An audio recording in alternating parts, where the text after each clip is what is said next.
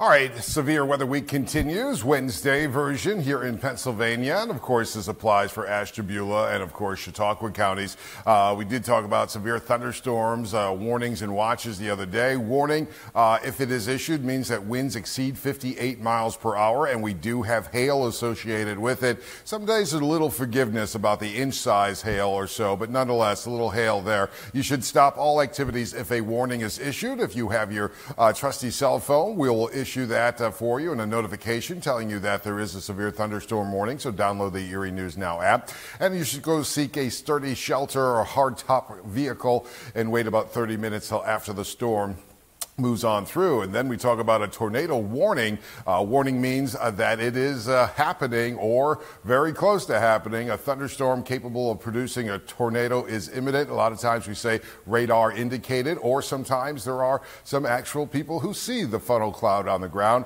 Get in a sturdy building, get down to the lowest floor, and cover up and protect your head and body uh, with a mattress and maybe even a helmet or something like that. But nonetheless, you should take action immediately.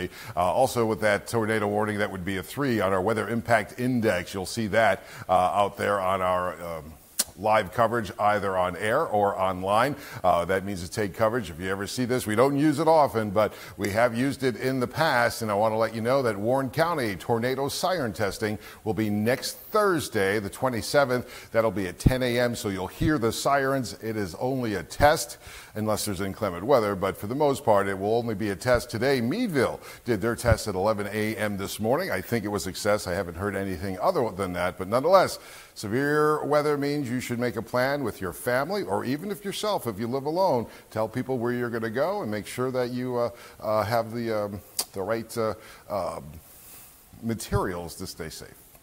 All right, thanks, John. Mm. Even when you know that it's a test, that siren just puts chills down yeah. my spine. It's so creepy and scary sounding. It's like from the movies. Yes. Be prepared next Thursday. John, thanks. thanks